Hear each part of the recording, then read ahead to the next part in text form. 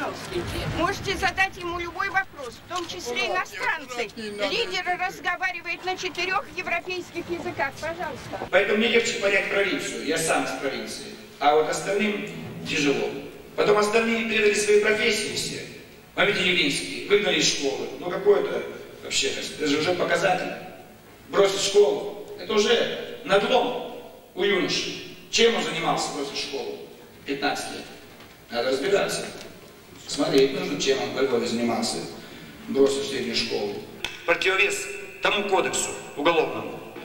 Я их учил, говорю, не говорите вы так. Может то же самое сказать по-другому. И скажем, национальная проблема, национальная рознь.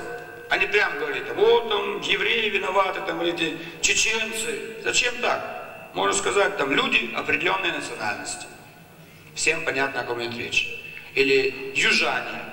Всем понятно, о ком идет речь. За географию нет статьи. А многие будут сидеть дома, потом выйдет через месяц скажет, а что вы делали по Чечне? Вместе мы должны делать. Что вы делали с Советской Конституцией вместе? А ты пей, чай пил в белой фуражке, чай пил, когда Конституцию громили. Так и сейчас.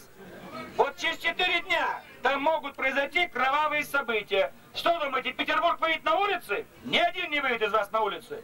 Будете телевизор включать, о, еще трупы, о, еще бандиты, вот еще армия пошла, вот еще кровь, вот сколько захватили. Вот что будем делать с вами.